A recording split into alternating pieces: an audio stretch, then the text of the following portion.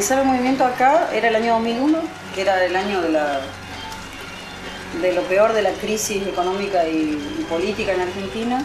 O sea, además de que había que seguir exigiendo trabajo, había que atender a necesidades alimentarias, entonces bueno, muchos de los planes de lucha se dirigían a, a que el Estado de alguna manera se haga cargo de esta situación de que la gente al no tener trabajo no podía ni siquiera garantizar la alimentación de la familia.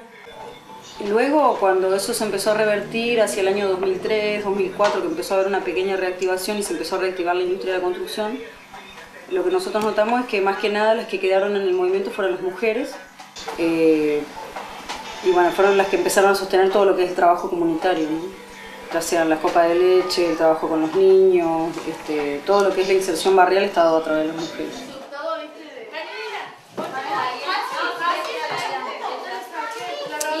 Eh, de lo social, el- la guardería comunitaria, que están las compañeras y compañeros llevándolo adelante. Este, durante el día los vecinos, las vecinas también, más allá de los compañeros, este, dejan sus hijos y es una apuesta fuerte el laburo con los niños y los jóvenes. Es donde hemos, desde hace años hemos dado un giro y hemos apuntado a ahí está la solución, porque ellos son el futuro. A la mañana ellos ingresan a las 9. Se les da el desayuno, leche, siempre inculcamos que los chicos tomen leche. Este, y después, bueno, a las y media más o menos, almuerzo. Es muy bueno el desayuno, la comida, acá se hace todo, no se compra nada de hecho. Hace todo, desde la pasta frola, el bizcochuelo, todo. Y bueno, nosotros compartimos mucho en el tema de hacer dibujitos, así, crear, que ellos tengan algo que ellos hagan y lo vean. Ese es mi dibujito, ¿no es cierto? Que digan, que venga la mamá y digan, mira, yo esto hice con la seño. Tratamos de que los chicos pasen, este, que tengan un, mo- un momento agradable, que quieran verlo.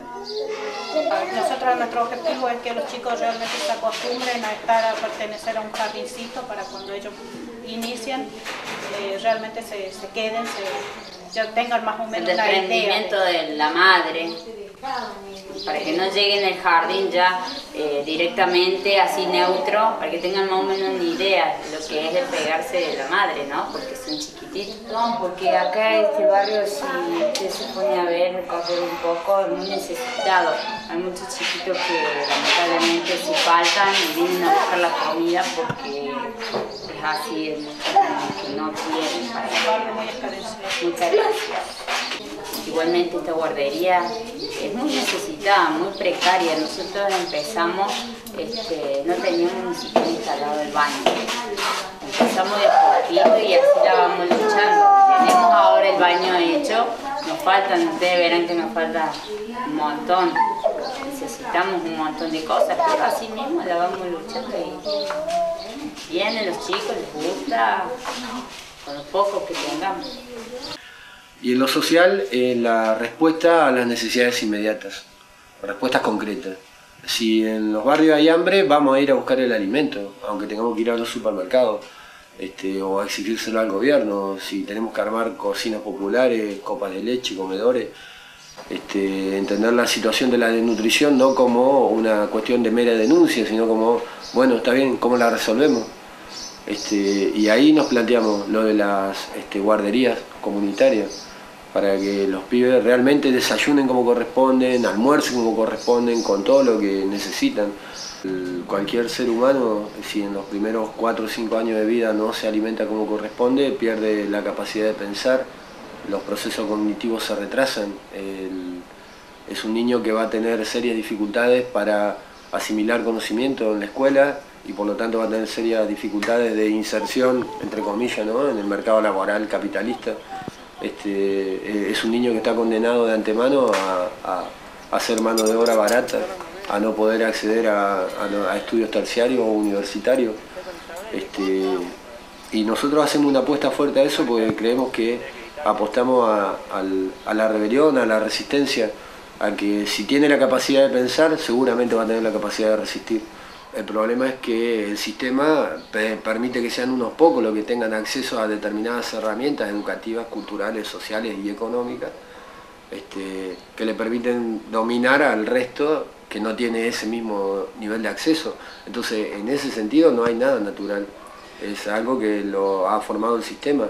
Y nosotros lo que queremos destruir precisamente es este sistema, que deforma una realidad, que deforma la comovisión central de nuestros pueblos originarios en contacto y respeto a la naturaleza, al respeto a, nuestros bienes comunes.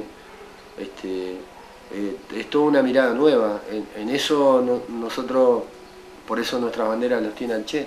Nosotros hablamos del hombre, del hombre nuevo, de la mujer nueva. Nos parece que ese concepto es, este, es la nueva manera de encarar una sociedad distinta.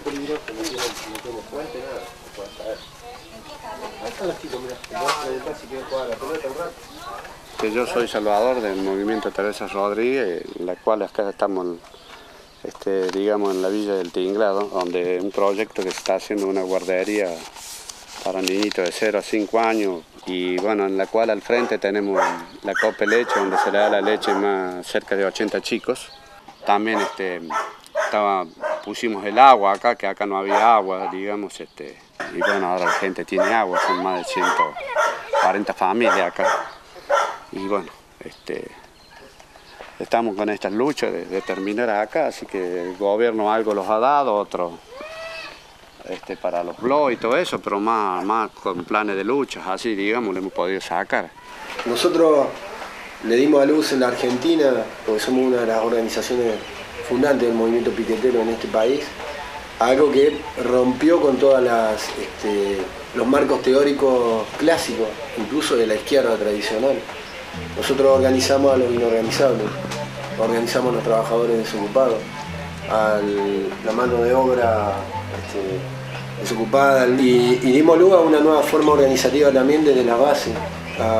Cuando la compañera hablaba de la apropiación del agua, lo, hablamos en términos concretos, reales, de confrontación abierta. Estamos hablando de este, planes de lucha con ocupaciones de ministerios, cortes de ruta este, y demás para conseguir los caños, los materiales hablamos de trabajo voluntario, comunitario, para realizar todo el tendido en los barrios, el zanjeo y obviamente la apropiación de la red. Vamos, descubrimos el caño maestro y nos conectamos y nos quedamos con el agua. Y la empresa que hoy es dueña del agua, en los barrios donde estamos nosotros hoy teniendo el agua, no se la vamos a pagar y no se la vamos a pagar.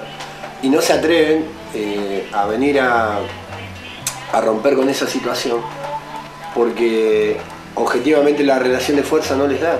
Y eso también a nosotros nos favorece, porque este, que venga la empresa, por ejemplo Suez Rogio, que es la dueña del, agua en Córdoba, este, a querer detenernos o encarcelarnos por tomar agua. La propiedad privada de robo en el momento en que este, pasa a ser propiedad de una o de un pequeño grupo, cuestiones que son de todos. La tierra, por ejemplo, es de todos. ¿Por qué tiene que ser propiedad de algunos? El agua es de todos. ¿Y por qué tiene que ser propiedad de algunos? La propiedad privada es, este, es, la base del, capitalismo de alguna manera. Y eso también hay que, como concepto hay que destruirlo.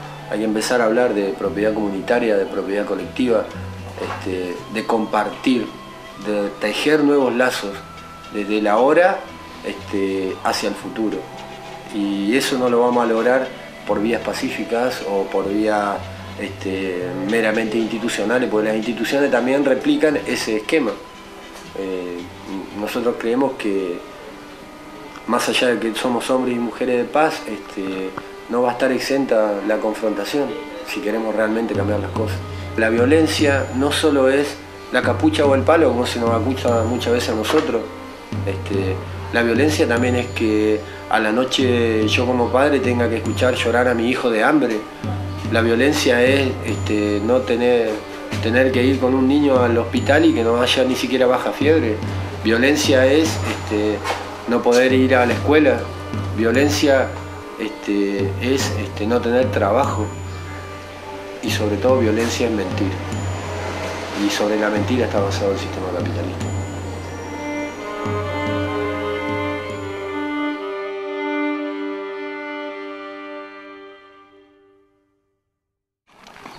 una sala de primero auxilio.